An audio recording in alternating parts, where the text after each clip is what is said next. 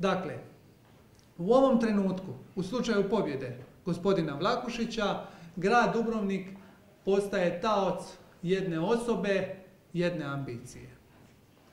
Jer, kako gospodin Vlakušić često zna reći, ostavite grad na miru, udarite na mene. E, nažalost, sada se dogodilo ono suprotno. Grad je postao žrtva upravo onoga koji je pozivao da se ostavi grad na miru. I to je jedina istina.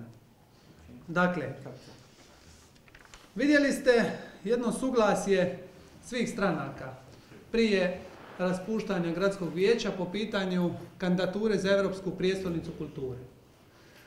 Svi smo rekli, ajmo sazvati izvanrednu sjednicu uh, gradskog vijeća, ajmo usvojiti sve potrebne dokumente, kako ne bi izgubili mogućnost da se grad Dubrovnik kandidira za tu prestižnu titulu Europske prijestolnice kulture.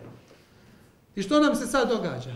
U slučaju pobjede gospodina Vlakušića, grad Dubrovnik se neće moći kandidirati za Europsku prijestolnicu kulture. I to su nam rekli jasno i javno sve relevantne osobe uh, i u Europskom parlamentu, ali i u nadležnim ministarstvima. Stoga, na jednaki način i hrvatski zakoni predviđaju da se na svaki natječaj koji financira država treba donijeti potvrdu o. Dakle, nije to nikakva novina, ali sad odjednom brojni projekti, a prije svega ovaj prvi, Europska prijestolnica kulture, u slučaju pobjede gospodina Vlakušića, bit će zakočen. Jednostavno, grad staje.